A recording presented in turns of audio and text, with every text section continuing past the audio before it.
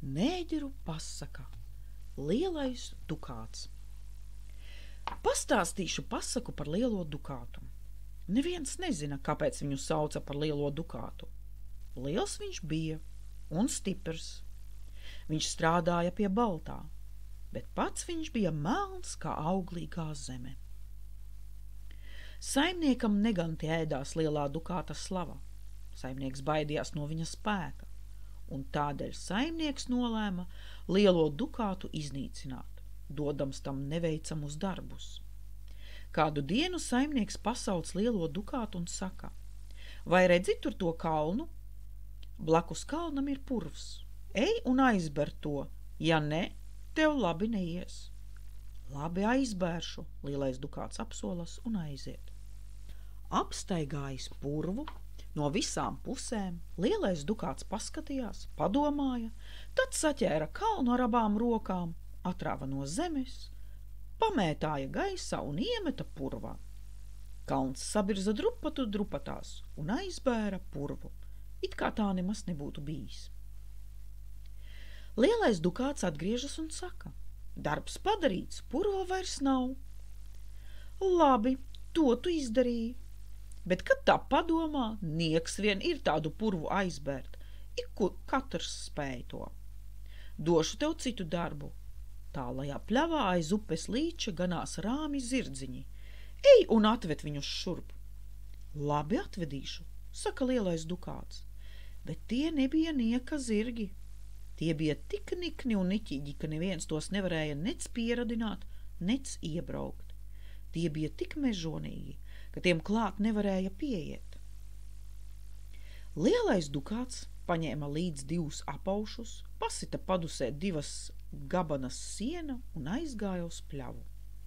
Ieraudzījuši lielo dukātu, zirgi nikni iezviedzās un pakavījām dimdot drāzās pie viņa. Lielais dukāts neizbijās.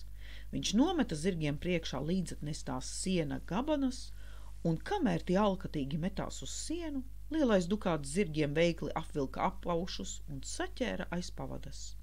Zirgi sāka zviegt un spārdīties, viņi slējās uz pakaļkājām un rāvās no visa spēka, kamēr sarāva apaušus. Ko nu darīja lielais dukāts? Ticat vai neticat? Viņš iezmiedza vienu zirgu padusē, otru un gāja uz mājām pie saimnieka. Darbs padarīts, te tavi zirgi. Saimnieks izbijās, lika ieslēgt zirgus dzels stallī.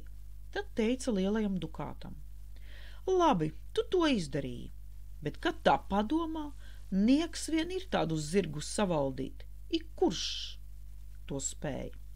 Došu tev citu darbu. Ļaudis runā, ka pa pasauli klīstot nelabais, cilvēkus biedējot. Man nav gadījies viņu sastapt, bet ļoti gribētos uz nelabo paskatīties. Ej un gādā man viņu šurp. Labi, saimniek, iedod man asu lāpstu un kārtīgu maisu. Saimnieks iedeva lāpstu un maisu, bet pats smēja bārdā, saka, nu gan nelabais lielo dukātu pievarēs. Veselas simts dienas lielais dukāts rakā, kamēr beidzot aizrakās zemzemē kur dzīvoja nelabais. Lielais dukāts pieklauvēja pie nelabā durvīm, nelabais pagalam nikns atvēra durvis un pabāza savu pinkaino galvu, bet lielais dukāts žvilgt, nelabajam maisu virsū, maisam galu ciet, tad atsviež maisu uz muguras un rāpjas augšā virzemē. Saimnieks tūdaļ priekšā, kur nelabais? Te! Lielais dukāts atraisīja maisu un to izkrat, no tā izkratīja nelabos saimniekam pie kājām. Oh, kas par briesmoni šis nelabais! Mati pinkaini kā pakulu kodeļa, acis gail kā ogles, deguns kā iesums, mute plata vaļā līdz ausīm, zobi asi un lieli kā ilkņi. Kā saimnieks paskatījās uz nelabo, tā uz vietas bija beigts. Nu, lielais dukāts bija brīvs. Viņš iemeta nelabo atpakaļ zemzemē un aizgāja plašajā pasaulē laimi meklēt.